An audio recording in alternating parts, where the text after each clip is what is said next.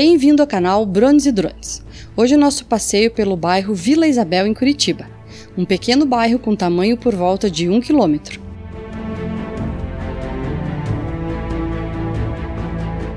Como bairros limítrofes temos o bairro Água Verde, Portão, Santa Quitéria e Seminário.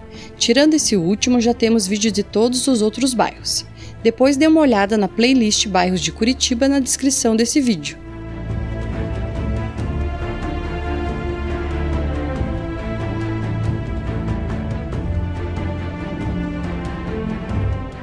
Como uma das principais avenidas do bairro, temos a Avenida Iguaçu, Presidente Getúlio Vargas e a Avenida República Argentina, a qual vocês estão vendo nas imagens nesse momento.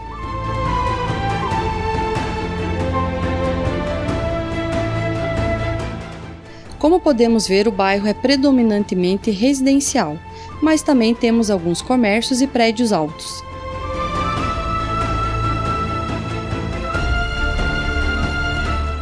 No bairro também temos a Igreja Santa Isabel, que faz referência à Rainha Santa Isabel ou Isabel de Aragão, e o Parque Linear da Avenida Arthur Bernardes. Te contarei um pouco da história do bairro. Se ainda não deixou, já deixa o like para nos apoiar. Mora na região? Passa por ela? Nos conte aqui embaixo e, claro, ideias ou sugestões é só deixar aqui embaixo também. Temos duas versões para a origem e o nome do bairro. A primeira conta que o nome do bairro é uma homenagem a Isabel de Aragão, rainha de Portugal, proclamada santa em 1625 pelo Papa Urbano VIII. A grafia predominantemente do bairro adotou a forma arcaica do nome Isabel, sendo escrita com Z.